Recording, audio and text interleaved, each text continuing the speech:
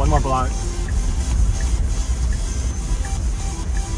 Okay, so let's try to, you know, we're gonna navigate around it, and this car just stopped.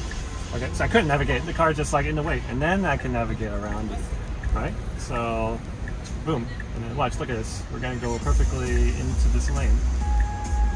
How do I? I I've used the FSD a lot, and I know it can do these things. I'm supposed to turn here, so it's not good because we need to get over there.